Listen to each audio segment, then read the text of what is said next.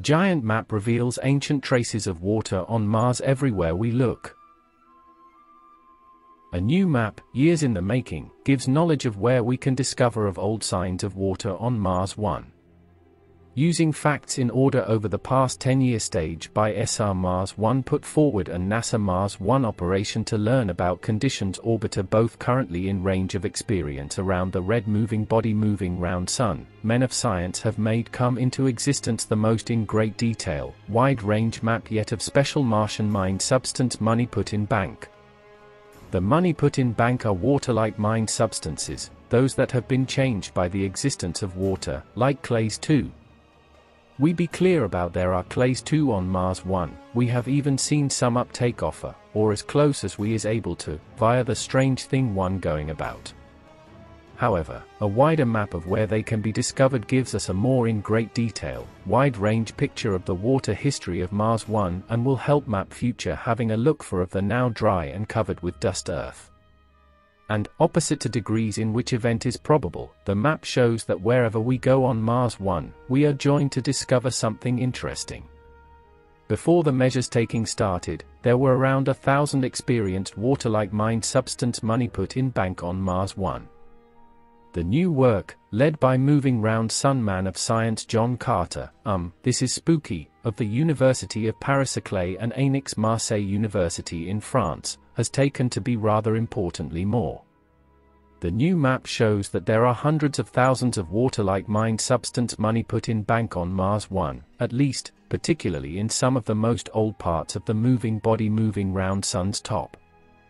I have in mind that we have as a group made over simple Mars 1, Carter says. This work has now made certain that when you are learning the of old lands in detail, not seeing these mind substances is actually the something strange. Learning these mind substances in greater detail can give knowledge of how much water has, noted in history, been present on Mars 1. For example, here on Earth, clays too are formed when water and another mind substance act between, among, coming out in a different mind substance. Vermiculites 3, smectites and chlorites 4 form when water acts between, among with iron and or magnesium 5. Ulsmectites and kaolin 6 are formed from water effects on one another with aluminium. But the amount of water, too, plays a part.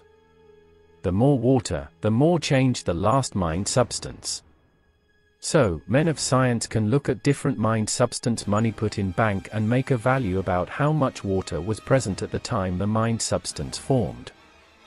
The work of Carter and his persons having like position has let be seen the existence of the mind substances talked about above as well as sulfate 7 and carbonate salts through spectrometric facts.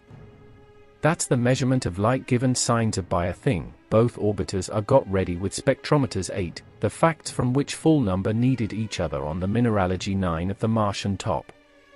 The resultant map suggests that there is not a mass of Mars 1 that has not been changed by water at some point in its history. The moving body moving round Sun may be a good-looking dry place now, but the evidence 10 suggests that it has noted in history been no stranger to quality of being soft. It also suggests that the earlier remaking of its water history, that water formed the clays too, then the salts came along as the waters dried up, might be a little too very simple. Some of the salts in the new map seem to be older than some of the clays too, and, in some divisions, nearby parts, the two are mixed in a way that suggests they may be contemporaneous 11. Undoing the follow-ups of these discoverings is going to take an important amount of observations.